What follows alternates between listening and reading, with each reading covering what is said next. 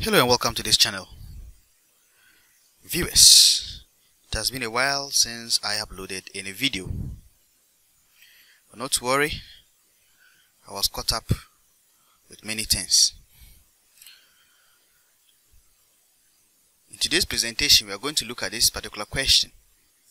3 to the power x over 1 plus 3 to the power x is equal to 2 over 5. Right? Then, what will be the value of 81 to the power x over 1 plus 81 to the power x? This is an Olympiad question. Before we proceed, make sure you click on the subscribe button, like and share.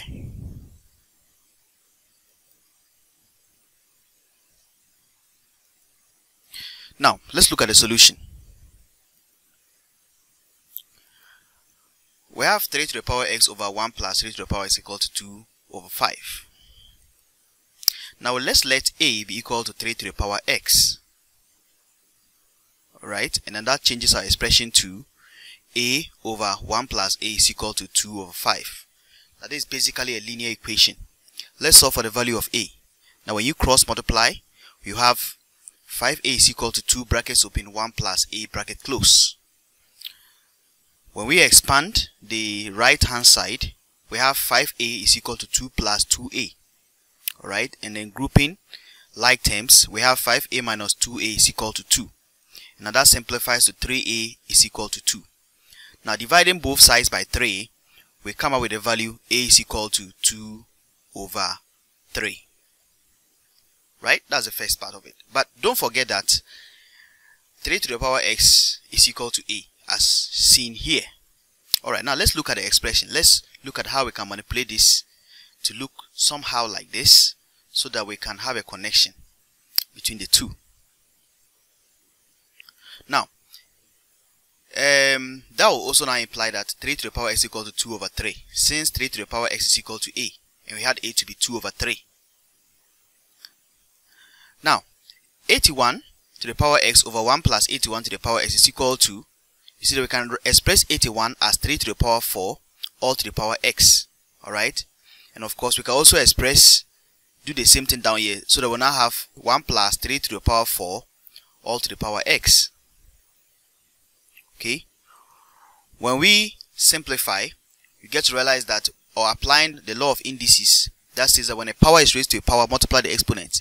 We come up with the expression 3 to the power 4x over 1 plus 3 to the power 4x. Now let's do some little bit of manipulation. This can also be rewritten as 3 to the power x all to the power 4. Okay? Over 1 plus 3 to the power x all to the power 4. Still applying the same law of indices that says that when a power is raised to a power, multiply the exponents. If you multiply x by 4, you still come back to the same thing. Alright, so we are just rewriting it in a way that relates to this question. Now, but we got a value of 3 to the power x to be equal to 2 over 3. When we substitute 3 to the power x is equal to 2 over 3 into the expression, we now have 2 over 3 all to the power 4 over 1 plus 2 over 3 all to the power 4.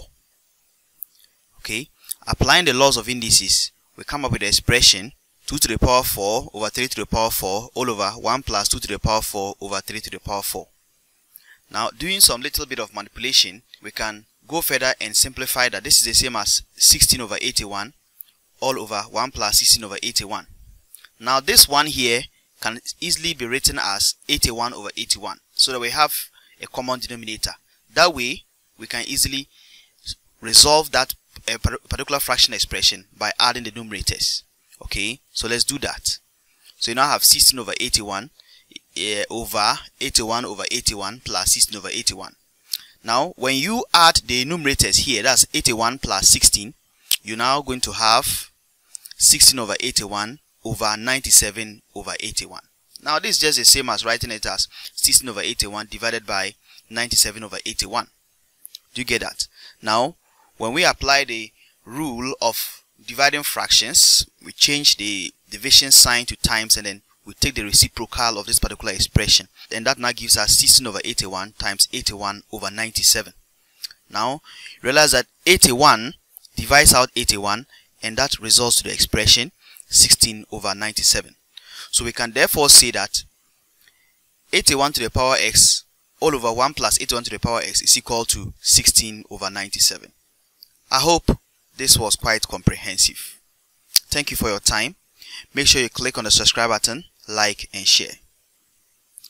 Goodbye.